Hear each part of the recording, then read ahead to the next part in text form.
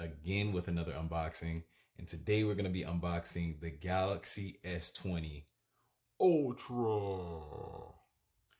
And I've been waiting for this phone for a long time. Maybe not as long as I was waiting for these uh, Galaxy Buds that you see there in the background. Um, but, you know, I have been following the specs of this phone for pr pretty much since the Galaxy S10 Plus came out. Um, actually, I'm sorry, the, the Galaxy Note 10 uh, came out. So this is fresh off of the heels of the Note 10. Um, they they went straight to the Galaxy S20. Um, I believe the advertising was for 2020. Uh, it's a new, you know, take on the Galaxy phones. Uh, of course, you guys know that we have Galaxy Folds and Galaxy uh, Z Flips and all types of stuff coming out now. So um, I'm gonna look at this phone. I haven't really seen if it has any edges or um, if it doesn't have any edges at all, but I think they're kind of getting away from the edge market and starting to try to get into the market of folding phones or foldable phones instead and having their regular lineup as uh, like a flat phone, pretty much like most of the other phones are out there on the market. Um, but without further ado, I know you guys came here for an unboxing, so that is what you are going to get. Now, um, already on at the bottom of the box here, you guys can see that this is a 5G phone. I am on the best network for that, which is T-Mobile. Um, so we're to get into this and I'm to do a review probably a week from now to tell you guys exactly how uh, 5G is working out for me. But let's go ahead and get into this unboxing here. We've got our little unboxing knife that we're going to initiate with. Yes. That cut was more perfect than, than the one that I did on the Galaxy Buds. So the box is still intact. Go ahead and get into this.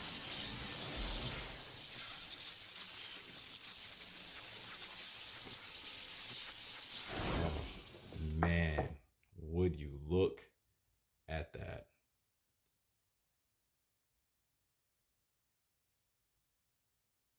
Can see Wolverine right there in the background. That's my boy right there. But oh my goodness. What an astounding phone. This looks gorgeous. I, I really don't even want to take it out of the box here, but it's an unboxing. So oh, look at it. I already know this thing is going to be a fingerprint magnet. Man, Look at that camera. I'm going to try to get a little bit closer here. Wow. Guys, I'm telling you, this phone looks amazing. I don't know. I don't know if the video is showing it as much justice as it deserves because this thing looks amazing. I'm going to go ahead and put that down right here. Put that to the side see what else we got in here. So got a little, I don't know what this is. I guess this was just a divider. Got a little divider there. SIM cards, all that stuff. Just gonna put it to the side.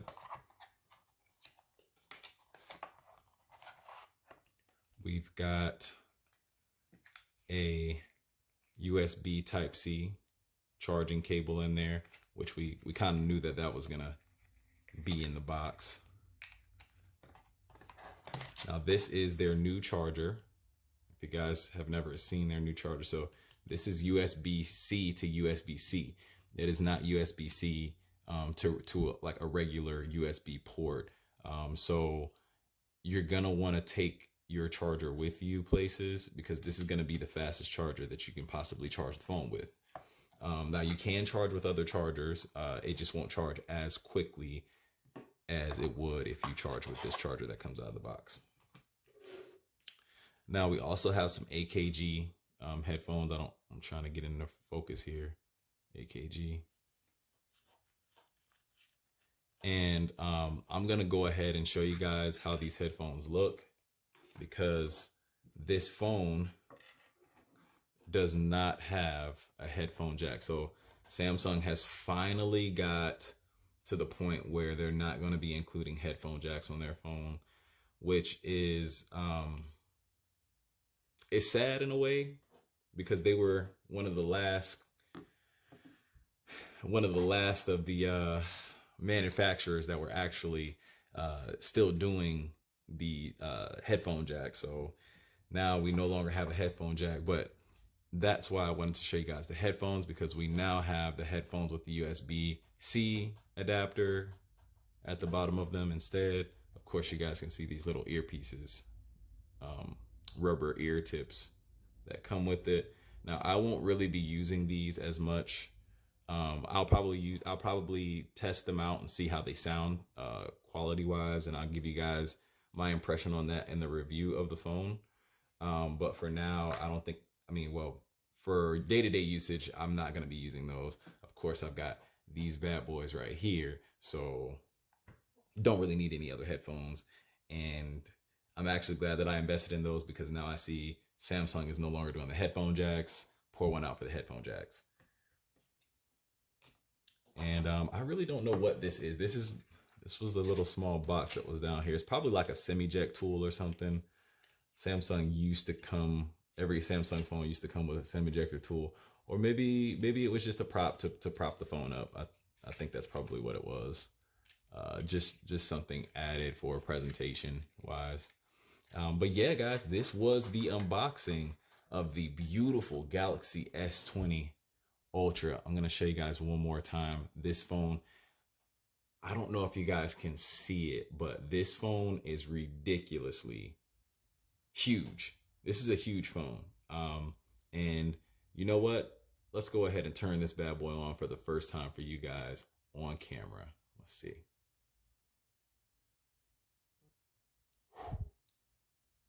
Oh yeah.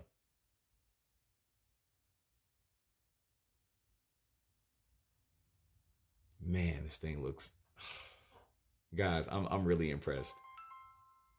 And there we have it. There we have it. We are literally in the game, guys. So I'm gonna go Let's ahead. Started. Let me help you get set up more easily by guiding you through the steps. Samsung has, guys. I just want to say Samsung has come a really far way, really long way um, from where they used to be. I have been on the Galaxy since the Galaxy S1. Um, I think the only Galaxy I, I never owned was the Galaxy S2. And I can tell you guys, the setup process has come a long way. The phone has come a long way. The UI has come a long way. Samsung is really they're kicking ass and taking names, guys. I just I just I'm really impressed with what they're what they have going on.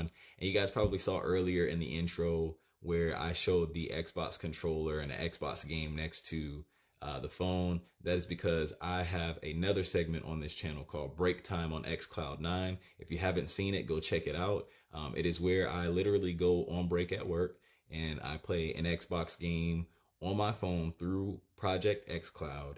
And um, this phone right here is going to change the game for me because we have 120 hertz refresh rate. Um, we also have uh, better internet speed through the 5G. Uh, so this is going to be a really interesting time for me and for you guys to see exactly how impressive and how powerful this phone really is and can be. And I don't know, guys, I'm just really excited about this. If you guys want to see everything that I have in store for this phone and this store has in this this store, this phone has in store for us, definitely like and subscribe hit that bell notification button, and I'll catch you guys in the next episode of this corner of Galaxy. Peace.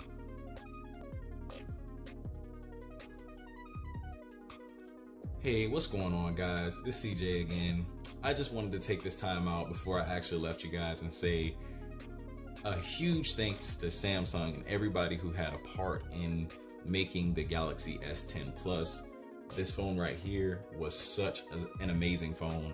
Very great experience. Um, it really showed the culmination of everything that samsung has done in the past with their phones um, and and even the things that they're doing in the future with their phones. And i really do appreciate the phone itself and the company for always being innovators um, like i said in the in the video earlier i've been on galaxy since the Galaxy S1. The only one that I did not own was the Galaxy S2. And I remember, I, I honestly remember uh, the Galaxy S3, getting my Galaxy S3, and they had a feature on there where when you look at the phone, the phone knows that you're looking at it, so the screen won't turn off.